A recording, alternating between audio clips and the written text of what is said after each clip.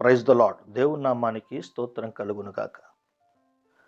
మనుషులు తమ క్రియల యందు సంతోషించుట కంటే వారికి మరి ఏ మేలును లేదని లేఖనము తెలియజేస్తూ ఉంది.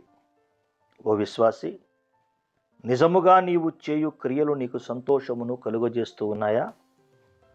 నీ సొంత కార్యములను నెరవేర్చుకొని నీవు ఎంత సంతోషిస్తూ ఉన్నావో? ప్రభువు కార్యములు నెరవేర్చి నీవు ఎంత సంతోషిస్తూ ఉన్నావో ఒక్కసారి నీకు నీవే బేరీజు వేసుకో.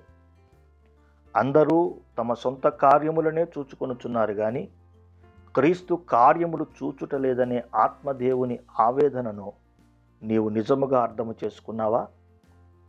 సత్క్రియలయందు అనగా క్రీస్తు క్రియలయందు ఆసక్తి గల ప్రజలను ఆయన ఏర్పాటు చేసుకున్నాడని ఆ ఏర్పాటులో నీవు కూడా ఉన్నావని మర్చిపోయావా? ఏర్పరచబడిన ఆ కొందరిలో నీవున్నావని మర్చిపోయావా? సత్క్రియలను ఓపికగా చేయుచు మహిమను ఘనతను అక్షయతను వెదకువానికి ఆయన నిత్య జీవమునిస్తాడని వాక్యము తెలియజేయుటలేదా? అంతము వరకు నా క్రియలు జాగ్రత్తగా చేయువానికి జనుల మీద అధికారం ఇచ్చదనని ఆయన చెప్పుట లేదా?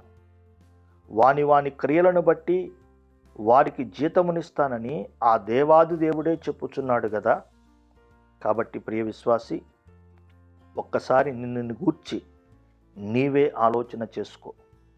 నీవు చేసిన క్రీస్తు క్రియలే రేపు నీ వెంట వస్తాయి. ఆ క్రియలే అనగా నీవు చేసిన ఆ క్రీస్తు క్రియలే రేపు నీకు గొప్ప బహుమానమును మెప్పును కలుగజేస్తాయి. క్రీస్తునందు క్రీస్తు కొరకు నీవు పడే ప్రయాస ఎప్పటికీ వ్యర్థము కాదు. దానికి తగిన ప్రతిఫలాన్ని నీవు తప్పక అనుభవిస్తావు. కాబట్టి ఆ కార్యాభివృద్ధి యందు ఎప్పటికీ ఆసక్తి కలిగి ఉండు. పునాది మీద నిలిచి ఉండే క్రీస్తు క్రియలను నీవు చేసి సంతోషించాలని ఆత్మదేవుడు తేటగా చెప్పుచూ ఉన్నాడు. అట్టి క్రీస్తు క్రియలు నీవు నిత్యము చేయొచ్చు నిత్యము సంతోషించు. అట్టి నిత్య సంతోష సమాధానములు నీకు మెండుగా కలుగునుగాక. Amen. God bless you all.